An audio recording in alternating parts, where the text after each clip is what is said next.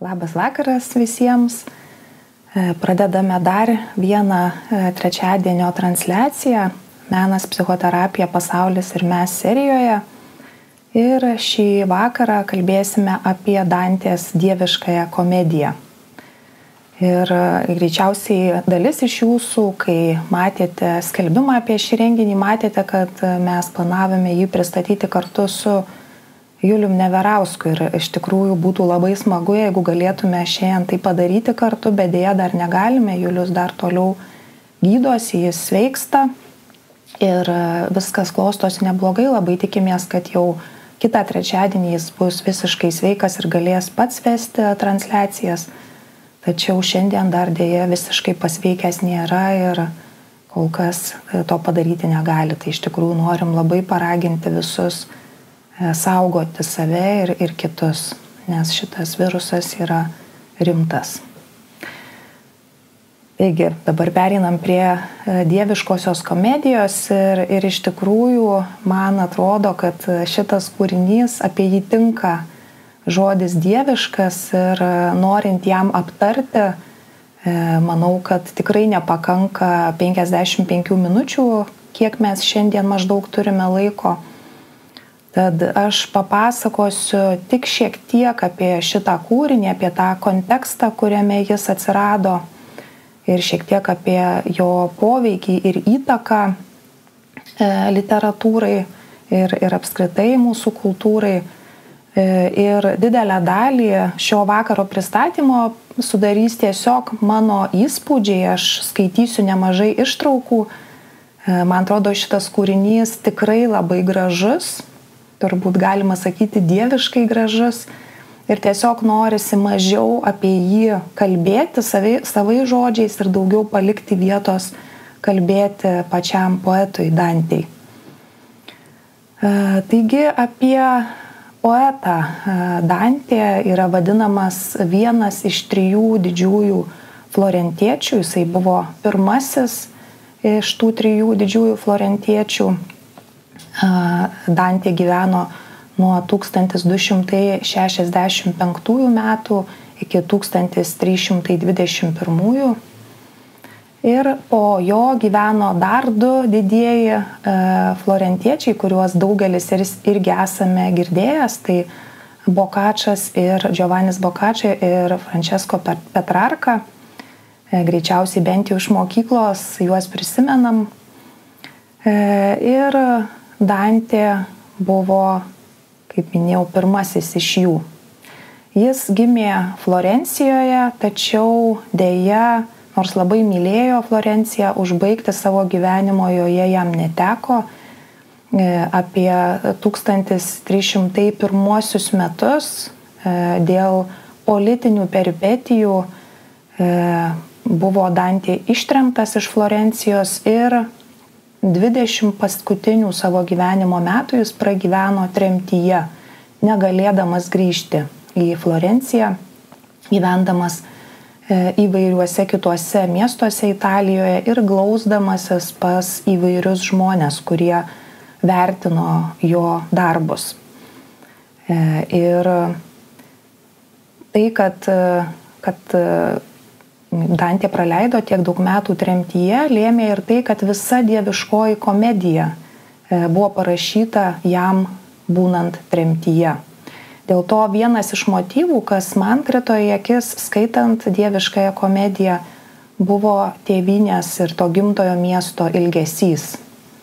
E, kaip žinome, tuo metu vieningos Italijos dar nebuvo ir e, kiekvienas miestas buvo kaip atskira valstybė Todėl tai, kad e, Dantė buvo ištremtas iš savo gimtojo miesto, manau, šių dienų e, mūsų supratime prilygtų tam, kad mes būtume ištremti iš savo šalies, nes tuo metu savas miestas buvo tarsi sava šalis ir jeigu tu negali grįžti į, į savo miestą, tu tarsi negali grįžti į savo gimtają šalį. E, kas taip pat yra žinoma, kadangi Dantė gyveno taip labai seniai, apie jį biografinių duomenų nėra labai daug išlikę ir dauguma duomenų, kas yra išlikę, yra iš jo paties pasakojimų, vienur ar kitur užrašytų tarsi išskaityti. Tai ką mes žinome, kad Dantė anksti neteko mamos, tiksliai nežinome, kiek jam buvo metų, bet e, žinoma, kad kai jam buvo 14, mamos jis jau neturėjo. Ir aš truputį po to kalbėsiu apie tai, kad e, man atrodo, kad šiek tiek tai, ką mes matome dieviškoje komedijoje, gali būti susiję, kad šitas kūrinys rašytas žmogaus anksti netekusio mamos. E, ir kas yra įdomu, kad dieviškojoje komedijoje niekur neminimas joks E, Dantės šeimos narys. Nei tiesiogiai, nei netiesiogiai ten minima labai daug žmonių, bet nei vienas iš jos šeimos narių, iš jos šeimos narių neminimas. E,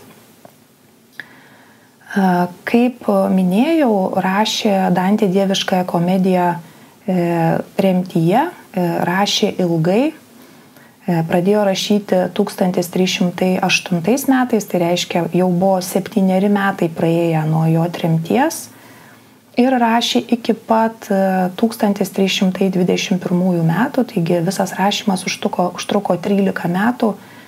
Ir e, taip sutapo, kad tais pačiais metais, kuomet užbaigė dieviškąją komediją, e, Dantė ir mirė.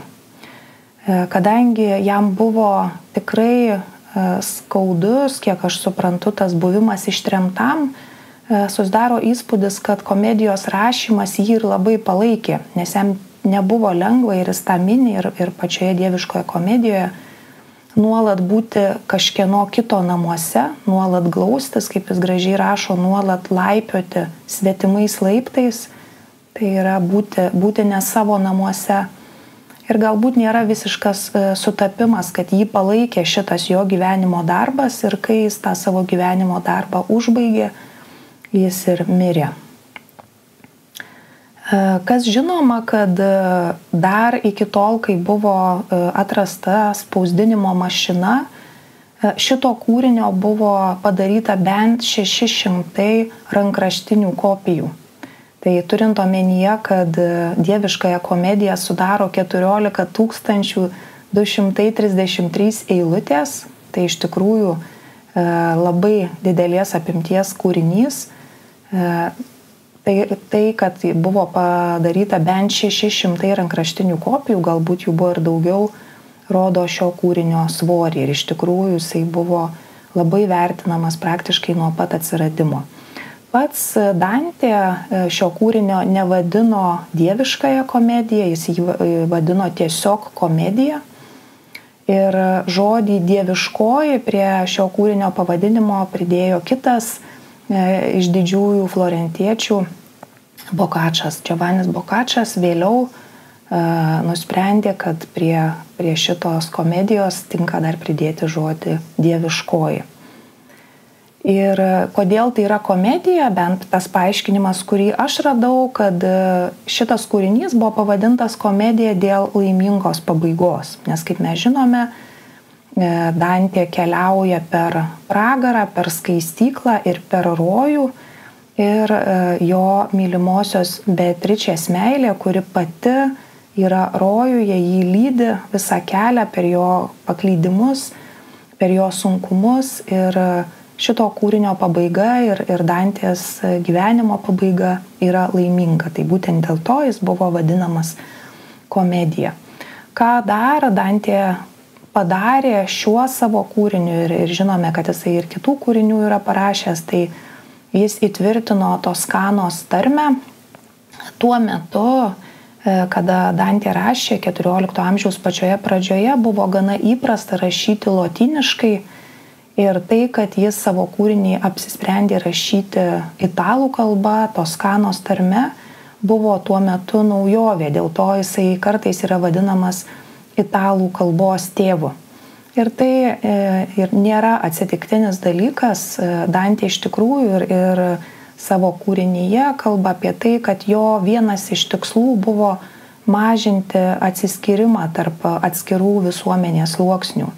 Jisai skatino ir, ir matysim, aš ir cituosiu, jeigu spėsiu, nežinau, kiek spėsiu pacituoti tų vietų, kurias pasižymėjau bet jisai skatino galvoti ne apie mano, o apie mūsų e, šalį, gerovę, kalbą ir dėl to norėjo skatinti tuos dalykus, kurie buvo bendri daugeliu žmonių. Tai be abejo daugeliu toskaniečių, toskanos tarmė buvo juos vienijantis dalykas ir jeigu jis būtų rašęs latiniškai, jis būtų rašęs tik tai labai nedideliai daliai žmonių. Kas dar yra sakoma, tai kad Dantijai buvo labai artima Tomo, artimos Tomo Akviniečio pažiūros ir konkrečiai pažiūros išdėstytos Tomo Akviniečio kūrinyje teologijos suma. Ir kartais yra sakoma, kad pagal savo idėjas Dantės dieviškoji komedija yra tokia artima Tomo Akviniečio teologijos sumai, kad tai yra tarsi suma parašyta eilėmis. Tarsi tas pats kūrinys, tos pačios idėjos tiesiog parašytos eilėmis. E, formai Dantė iš tikrųjų šiame kūrinyje teikia daug reikšmės, kūrinys e, labai struktūruotas ir labai apgalvotas, jį sudaro e, šimtas giesmių, viena giesmė yra įžanginė, o vėliau 99 e, likusios giesmės yra labai polygiai padalintos į tris dalis. 33 giesmės skirtos aprašyti pragarui, 33 skaistyklai ir 33 rojui. E, įdomu yra tai, kad į lietuvių kalbą šis kūrinys yra išverstas du kartus. E, daugiausiai e, šiandien aš cituosiu pirmąjį vertimą, kuris buvo padarytas Alekso, Aleksio Hurgino. Tai yra, kadangi šitas vertimas yra senesnis, jisai ko gero yra žinomesnis, bet poetas Sigitas Gėda sakė, kad E, Hurgino vertimas e, nebuvo labai kokybiškas jo nuomonė, buvo kritikuotinas ir dėl to Sigitas Gėda irgi yra išvertęs visą dieviškąją komediją, todėl mes galime rinktis, kurį vertimą skaityti ir galim skaityti abu vertimus, kas, e, kam, kam įdomu, kam smalsu ir palyginti.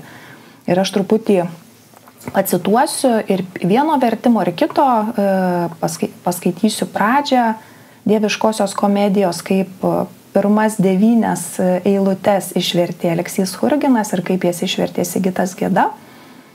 Ir po to jau toliau cituosiu tik tai Hurgino vertimą, bet kam, ką sudomins Sigito Gėdos vertimas, tai kviečiu irgi pasidomėti.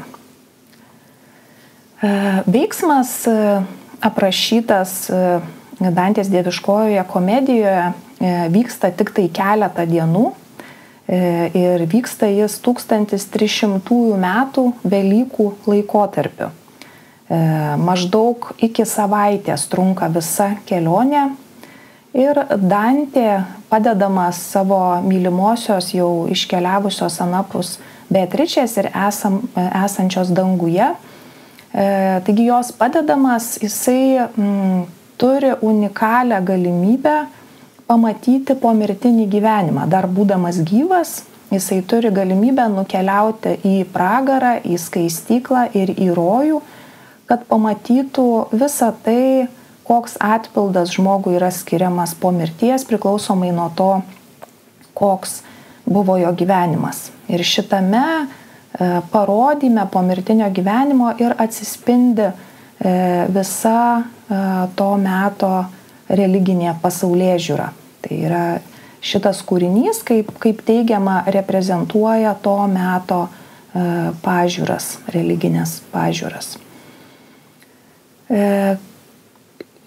Dantė nusileidžia į pragarą iš pradžių, po to keliauja į skaistyklą ir po to į rojų ir visą laiką turi palydovus. Iš tikrųjų, man gražus labai šitas palydovų buvimas ir labai gražiai parodoma, kaip e, baisu, kiek daug kartų Dantį kyla baimė ir kaip jam reikia tų palydovų ir jų pagalbos.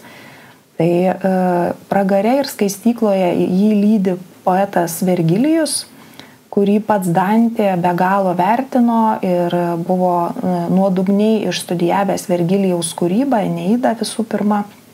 Ir uh, daug mes matome ir dieviškojoje komedijoje užuominų į Eneidą, taip pat ir, ir perimtų herojų iš Eneidos. Ir du trečdalius kūrinio Dantė ir Vergilijus keliauja kartu.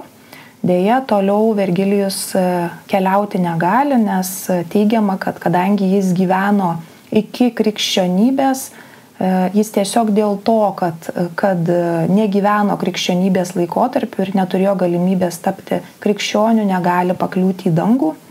Ir dėl to nei pats nėra dangui, nei negali dantės į ten palydėti.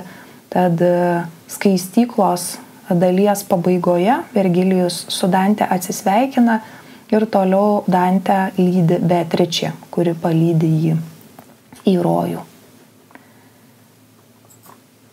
Ir dabar paskaitysiu pirmas devynes dieviškosios komedijos eilutes. Ir kaip minėjau, šitas devynės eilutes paskaitysiu du kartus. Iš pradžių Aleksio Hurgino vertimą ir po to paskaitysiu Sigito Gėdos vertimą. Ir kaip žinia, prasideda poema nuo to, kad poetas Dantė gyvenimu nuėjęs pusę kelio, kaip jis pats sako, atsiduria uh, nuodėmių sukūry, kuris yra pavadinamas tamse gire. Ir nuo to tai yra jo atspirties taškas. Jis yra pasiklydęs gyvenimo keli, pasiklydęs savo uh, moraliniuose principuose, nuklydęs nuo tiesos. Ir būtent šitame pasiklydime ir ateina į pagalbą jo mylimoji Beatričė esanti rojuje. Taigi, kaip atrodo tas pradinis etapas kaip apibūdina Dantė savo e, gyvenimą tuo momentu. E, gyvenimo nuėjęs pusę kelio, aš atsidūriau miško tankmėje, pametęs tiesų pėtsaką tą kelio. Sunku man apie tai kalbėti dėja. Tokia tamsi gireta ir siaubinga, jog vėl jaučiu aš baimę širdyje. Turbūt mirtis mažiau nečiurpulinga kad vardan gėrio surasto tenai papasakoti viską bus naudinga. Taip ir dabar paklausykim, kaip šitą patį a, trijų trejilių pirmųjų derinuką išvertė a, Sigitas Gėda. Per vidurį gyvenimo kelionės aš pakliuvau į baisiai tamsią gyrę ir pamečiau aš tiesų kelią žmonės, kas apsakytų, ką tada patyriau. Kokia juoda gyrė pritvinkų siaubo, į šunkelius lik kaklo pasinėriau. Gal net geriau patirti mirtį kraupę, bet dėl šviesos, kurią esu suradęs, papasakot geidžiu, kas susikaupia. Ir dabar truputį pacituosiu e, labai trumpai e, Vilniaus universiteto profesorės Genovaitės Dručkutės straipsnį, kuriame jinai lygina e, abu šiuos e, vertimus ir ką jinai sako apie Aleksio Hurgino vertimą, ką jinai sako apie Sigitos, Sigito Gėdos vertimą. E, Genovaitė Dručkutė sako, kad Hurginas versdamas nuosmenina, suabstraktina ir suromantina kūrinį, nes šitas kūrinys nėra romantinio laikotarpio, jis yra renesanso kūrinys, tai truputį Hurginas jį e, tarsi suteikia jam kito laikotarpio atspalvių. Ir skambumo dėliai Hurginas aukoja tikslumą ir originalo prasme. Ir iš tikrųjų e, aš e, toliau, aišku, ne, nelyginau ir, ir nesu tiek įsigilinus, kiek, kiek pagrįst, pagrįsti, kiek kuo remiasi tiksliai šitie Genovaitės dručkutės teiginiai, tačiau su kuo aš tikrai sutinku, tai kad e, Aleksio Hurgino vertimas yra skambus. Iš tikrųjų, ir, ir, ir aš stengsiuosi pacituoti, kad mes pajustume tą skambumą. E, tikrai negaliu pasakyti, kiek tikslumo dėl to paukota, kiek originalo prasmės, tačiau skambumo tikrai, man atrodo, Aleksio Hurgino vertimui netrūksta. E, ką e, Genovaitė Druškutė sako apie Sigito gėdos vertimą? E, jis sako, kad e, Sigitas Gėda gana neretai subuitina Dantės sukurtus įvaizdžius. Sigitas Geda įveda šnekamosios kalbos ar tautosakos intonacijas į savo vertimą. Ir ji pamini tokius pavyzdžius, kaip kad žvaigždės saulužė vedėsi per dangų, dangus mireliojo, pirkliūkštis, tokie žodžiai. Ir iš karto ir sako Genovaitė Dručkutė, kad iš tokių pavyzdžių, kurių daug yra, iš karto atpažįstame šio vertėjo ranką kabutėse. Tai tiesiog kelios mintys apie, apie šiuos skirtingus vertimus. Ir dabar truputį e, daugiau apie pragarą, šiek tiek e, plačiau šį vakarą apsistosiu ties pragaru, tačiau stengsiuosi palikti laiko ir skaistyklai, ir rojui. Ir taip pat stengsiuosi palikti šiek tiek laiko e, jūsų klausimams. Taigi, kaip kalbėjau ir kaip jau skaičiau, mes pradžioje matome, kad Dantė kalba apie tamsų mišką.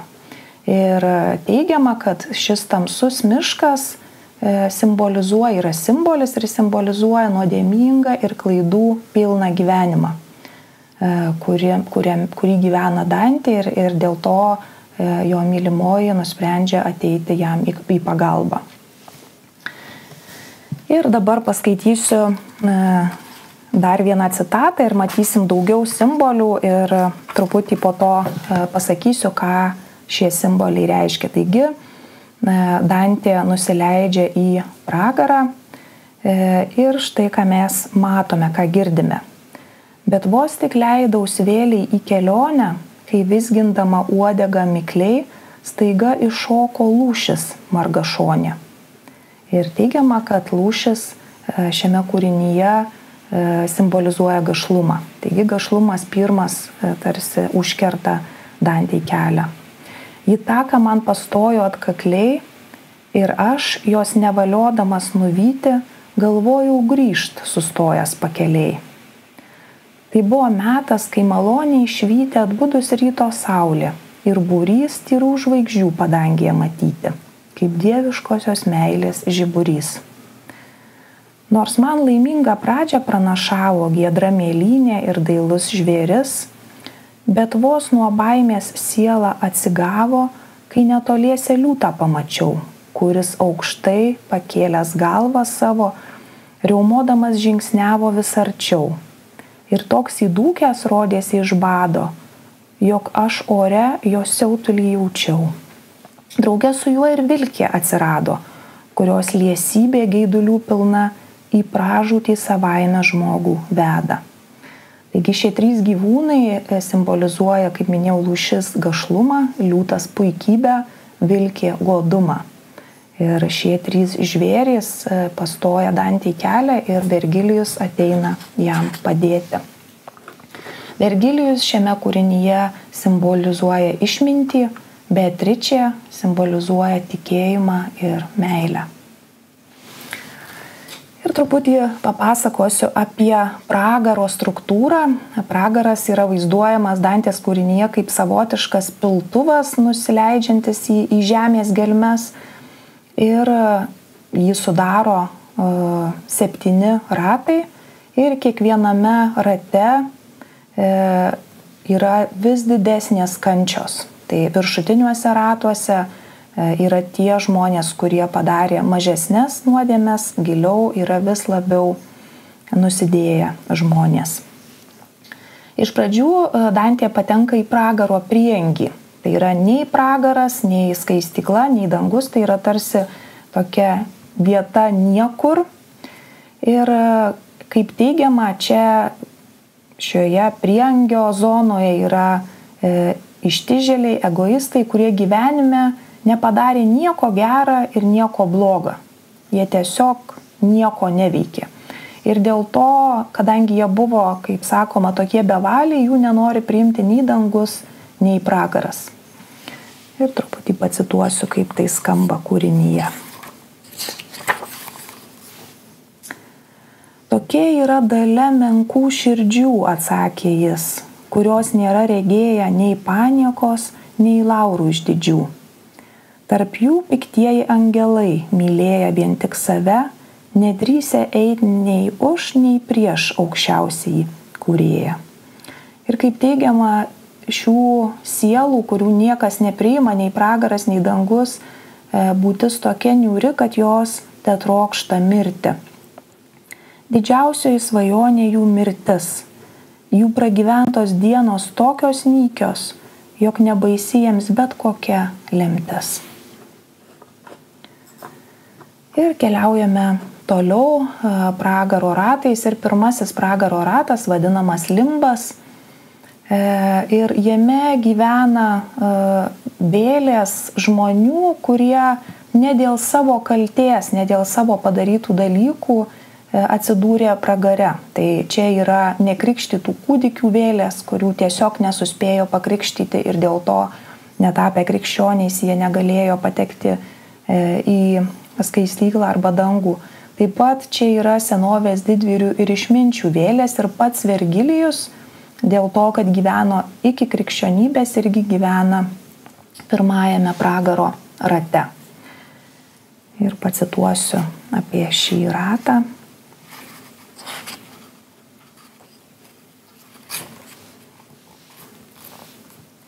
Ir čia Vergilijus sako ir apie save, ir apie kitus. Tie kas gyveno iki krikščionybės, nebuvo viešpaties tikri tarnai. Aš vienas iš tokių, o jų galybės. Vien už tai mes kenčiame čionai ir stumėme dienas, praradę viltį, kažko ilgėdamiesi amžinai.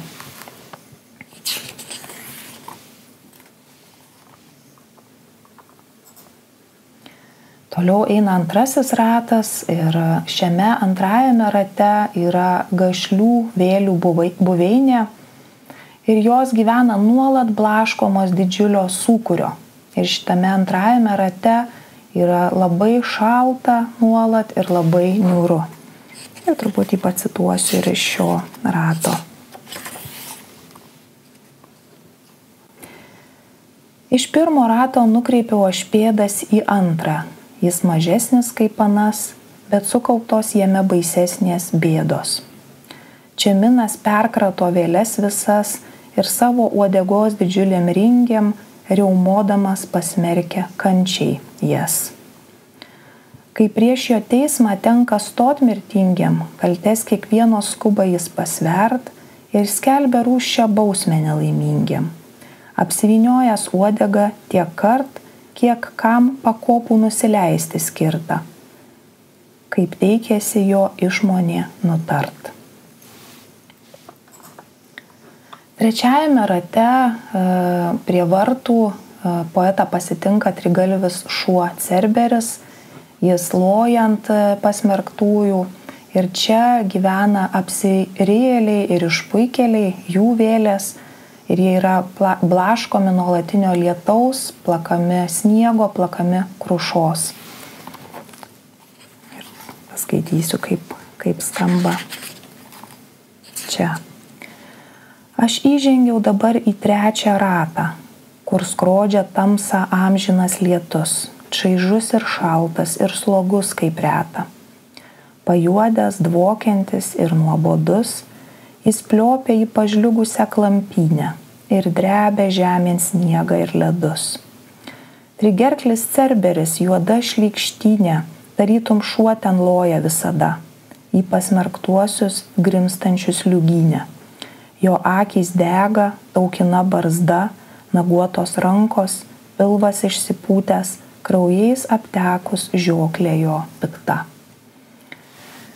Ir galima toliau būtų e, skaityti apie pragarą, bet matau, kad laikas bėga ir norisi nepraleisti viso šito laiko skirto Dantės e, dieviškosios komedijos aptarimui pragare.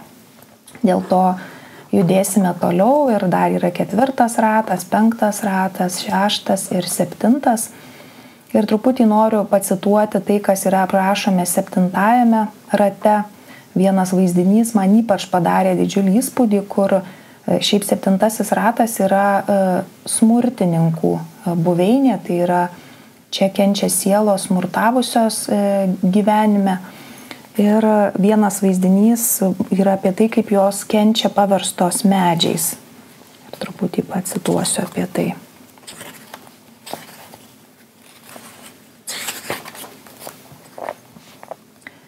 Aplinkui išgirdau liūdnus kliksmus, bet niekas nepatraukė žvilgsnio mano ir aš sustojau vietoj neramus. Atrodė, kad vadovas lyg ir mano, jog aš vaitojant įtariu vėlės, kurios tuose brūzginuose gyveno. Ir tarė jis prieės prie manęs. Čia tas vadovas yra Vergilijus, kuris lydi Dantę. Nulaužkit tyčia bet kurią šakelę, kad išblaškytum savo abejones ir pildydamas mokytojo valią pajudinau aš krūmą kažkurį ir kelmas sudėjavo, oi, man gelia. Ištryško kraujas lūžio vidury ir pasigirdo vėl, o nedraskykė, nejau tavo širdis tokia žiauri. Juk žmogumi buvau aš kitą sykį, bet paverstas esu grubia šaka. Taip skaudinti berots nebūtų tikę net šliužo sielos, kaip žalia pliauska iš vieno galo grūsdavo iš kito jai lašą šnipžda, šnipždama gaili sunka, taip su tamsiu krauju iš kero šito almėjo aimanos. Aš sumišau ir stagaras iš rankų man iškrito. Ak, vargšė siela, tu nepyk prašau, pasakė išmintingas mantujėtis. Jei būtų jis žinojęs, kad rašiau teisybę, gal tavęs nebūtų lietęs Įtikinti jį norėjau tuo būdu, bet savo žingsnio pats imu gailėtis. Taigi Vergilijus paskatina Dantę nulaužti šakelę ir po to sako, kad pats gailisi, kad paskatino jį taip daryti. Ir dabar po truputėlį pereisim prie skaistyklos. Paskaitysiu, kaip prasideda, kaip skamba skaistyklos dalies, dalies pradžia.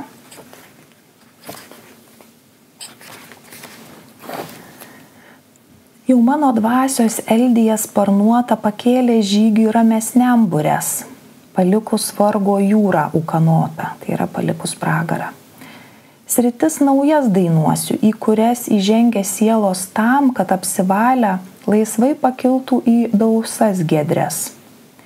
Suteikite negyvai giesmiai galę, o šventos mūzos, jūsų aš esu. Tegu man kaliopi rodo kelią, aš noriu pasidžiaugti jos balsu kurs taip suniekė šarkas nelaimingas, jog netgi pasidarė joms baisu. Ir taip mes pradedame keliauti per skaistyklą.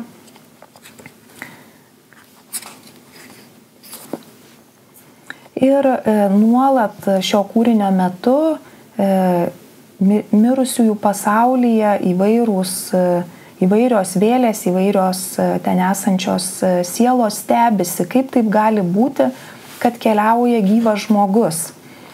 Ir vienas iš tų besistebinčių yra skaistyklos sargas, katonas, kuris sako, kas jūs, kurie iš, am, iš amžinų kančių atėjot prie šio aklo upeliuko, kas buvo jūsų žiburių skaiščiu Taip krestelės plaukus jis netruko prabilt į mus. Iš požemio nakties, kas jų dviejų žingsnius čionai pasuko?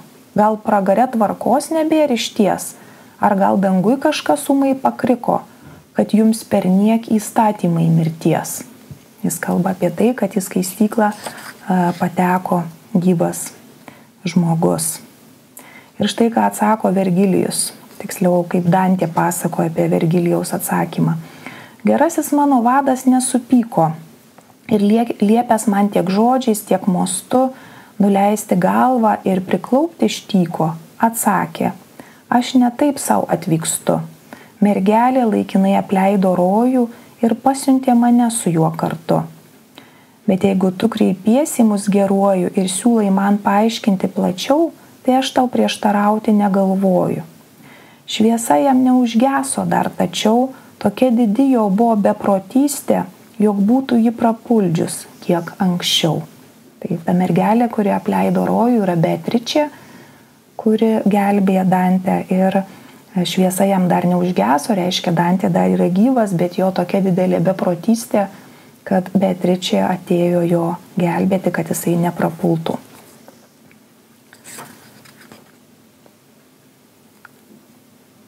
Ir dabar žiūrėdama, kiek nedaug mes turim laiko, bandau atsirinkti, ką e, labiausiai noriu pacituoti iš visų savo pasižymėtų e, citatų ir galbūt noriu, išsirinkau, kurią noriu.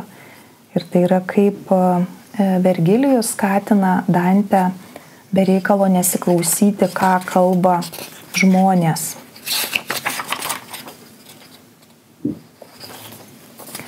Jie keliauja per skaistyklą ir mm, Dantė išgirsta e, vėlę kalbant, eidamas paskui Vergilijų ir štai ką sako. Pėdom poeto aš ėjau ištyko, kai vienas tų snaudalių nebilių pirštų parodęs į mane sukliko.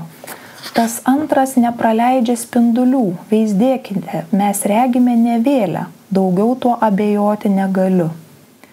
Atsigrėžiau sumišęs truputėlį, jie žvelgė ir stebėjos manimi. Manim tik vienu, sekdami šešėlį. Kam šitokius niekus širdin imi, pasakė mano vadas, nesustokė, ar ne vis tiek ką plepa svetimi. Eime, ką reiškia tauškalai visokie, jei stovi tu lyg bokštas išdidus, kuris atlaiko viesulą bet kokį. Nuo tikslo atsitolina žmogus, kai jo galvoj mintis praryja mintį, kurią brandint jisai nepajėgus. Ir kaip minėjau, Dantė buvo tas žmogus, kuris e, manė, kad svarbu yra bendrystė, e, svarbu yra nesiskirstyti, nesiskirstyti į daugiau ir mažiau galinčius. Ir dar noriu pacituoti ištrauką, kur jisai skatina gerbti žodį mūsų. Tai yra mažiau galvoti apie mano ar tavo, bet galvoti apie mūsų. Gerbk žodį mūsų. Kuo gausiau jis aidė, tuo daromės visi turtingesni. Ir žydį širdis meiliai atsiskleidė. Tariau, tava kalba, kad ir kilni, bet alkulio jinai nenumalšina ir abejonių dar apščiau manį. Nors turtai tarp visų išsidalina, jautiesi lobingesnis tu esas negu tuo met, kada maža šeimyna.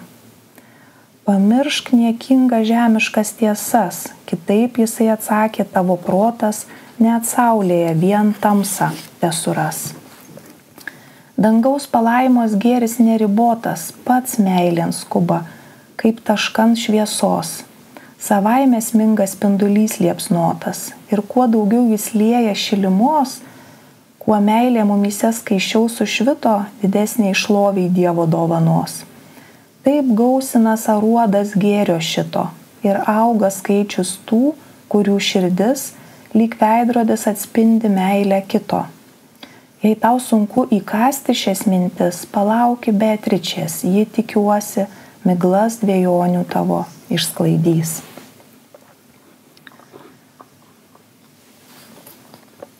Ir dar noriu pacituoti turbūt paskutinę citatą iš skaistyklos apie e, dievišką upelį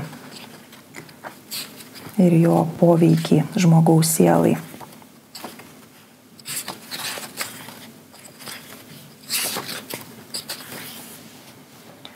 Tasai upelis dieviška sunka, kurią dosnumas viešpaties beribis dviem srautais lieja mylinčią ranką Vienoj srovėje mes savo nedorybės pamirštam, o, antra, o antroji dvasia vangi išmoksta atsimint geradarybės. Čia leta ten eunoja turėgi, reik paragaut vandens ir to, ir kito, kad pasireikštų jo veikmė staigi. Taigi Dantė po truputį ruošiamas pereiti kad pamatytų, kas vyksta rojuje ir mes irgi pereisim prie rojaus, nors dar daug galima būtų kalbėti apie skaistyklą. Ir dar noriu uh, pacituoti vieną ištrauką dar iš skaistyklos, kur Dantė sustinka su Beatriče ir kaip jis ją mato. Ir įdomu į tai, kad jisai matydamas Beatričę ir kaip jaučiasi ją žiūrėdamas lygina save su kūdikiu, kuris žvelgia į motiną. Ten mano akis moterį išvydo, žaliu rūbu, skraiste purpurinė, alyvų šakelę ant balto šydo. Ir kaip čia atsitiko, nežinia. nes dingo nebegrįžtamai tos dienos, kai jos artumas virpino mane. Bet vos tik tai pakėliau aš blakstienas, senosios meilės jėga man slapta prižadino išsyk jos vaizdas vienas. Kai ši neregima gale keista, kuri man sukrėtė vaikystėje sielą, iš naujo širdį, širdį pervėrė tada, atsigrėžiau kairien į vadą mielą, kaip kūdikis į motiną, kai jis jai neša savo nuoskaudą ir gėlą. Norėjau šūktelt meilės drebulys, saudrino man kraują, vėl apniko ir degina mane sena ugnis.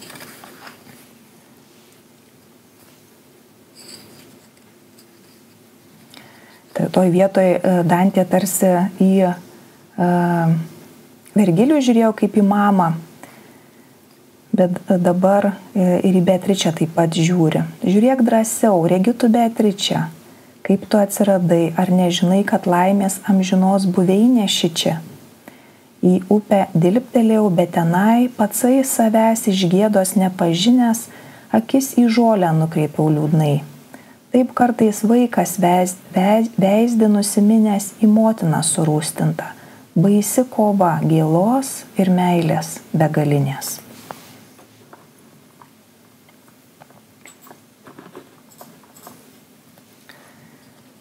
Taip ir dabar jau tikrai pereiname prie rojaus dalies ir dar truputėlį noriu e, spėti pasižiūrėti, kokių turėsit klausimų ar komentarų. Umai dangus nauja šviesa sužvagęs, nusiplėskė lyg didis kažinkas, ten būtų antrą saulę dar uždegęs.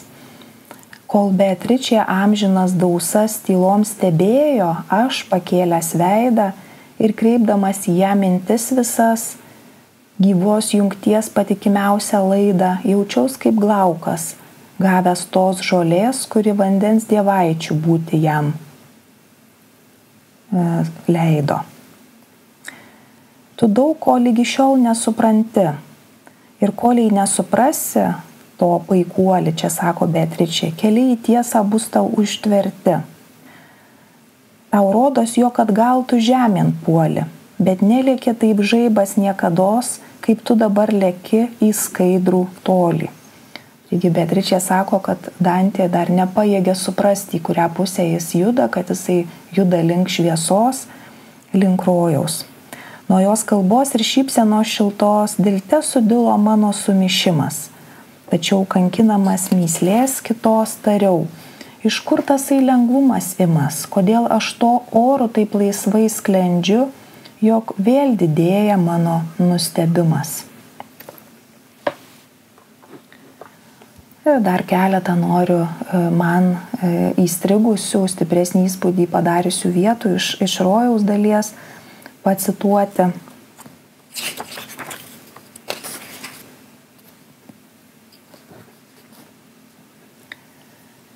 Ir Beatričė linkia, kad Dantei atsirastų toks gilus supratimas, toks proto nušvitimas, kad daugiau jo niekas negalėtų apneukti. Ir kaip šypsnys pavasario džiugus nušviečia žemę, dar sniegų apklota, jos ledinius naikindamas rūbus.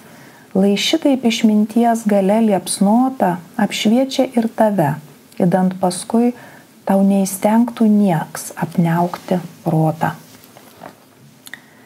Ir dar truputį noriu pacituoti apie laisvą valią. Įdomu, kad kadantė e, šitą mini ne vieną kartą būtent laisvos valios mintis yra pakartojama įvairiuose kūrinio vietose. Gražiausia ir kilniausia, ką turėjo dangus ir ką mes gavom, kad šventai laikytume kaip dovana kurėjo, yra laisva valia. Bet kaip matai, jie tesidžiaugia padarai protingi. Ir nieks daugiau pasaulyje, jie tik tai. Taigi, laisva valia yra didžiulė dovana, kurią mes esam gavę Dantės nuomonę, tačiau, kad galėtume ją džiaugtis, tą laisvos valios dovaną mums labai reikia išminties, tik, tik protingi žmonės gali ją džiaugtis. Taip, dar noriu truputėlį pacituoti vieną vietą, kur e, Dantė kalba apie tai, kas bus, jeigu eisime prieš gamtą. Tai yra irgi e, tema, kuri ir šiandien e, yra aktuali, štai ką sako Dantė. Jei eisi prieš gamtos lėmimą šventą, ji iš vėžių iškrypusi nusus ir grūdas, kur, it grūdas, kuris į prastą dirvą krenta. Ir jeigu jūs jos pamat, pamatus visus mokėtumėte saugoti kaip tinka, pasaulis gal nebūtų toks baisus. Uždarę vienuolynant kariauninką, monarcho sostant brukate kvailai tą, kam dėrėtų kamža kanauninko. Dėl to ir šlyja jūsų reikalai. Ir dar e, porą citatų, viena apie tai, kaip svarbu mums, mums per anksti nespręsti kas yra kas, nedaryti skubotų išvadų. Sako Dantė. Nereik paknopstom spręsti per griežtai, nes kol nesupilti kviečiai į klėtį, anksti skaičiuoti, kiek verti grūdai. E, mačiau aš niūriai širpstantį erškėtį, kuris po vėtrų, darganų šaltų, pakėlęs galvą imdavo žydėti. Mačiau, kaip laivas uostė ties krantu iš tolimojo grįžęs vandenyno į dugną grimzdo su žmonėm kartu. Nėra ko klausyti tauškalų kaimyno, jog tas vagis, o tas geradarys, nes niekas viešpaties kelių nežino. Ir vienas gal pakils, o kitas kris. Ir paskutinė citata e, dvi dar paskutinės citatos. Viena apie jausmų ir proto vienybę rojuje.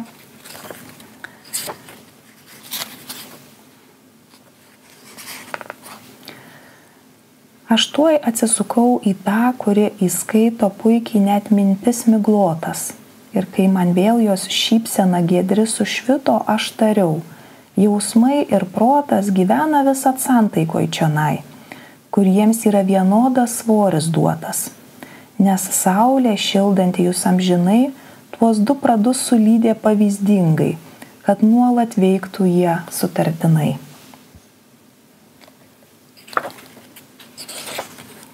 Ir dabar dar pacituosiu pačią rojaus dalies ir, ir viso kūrinio pabaigą.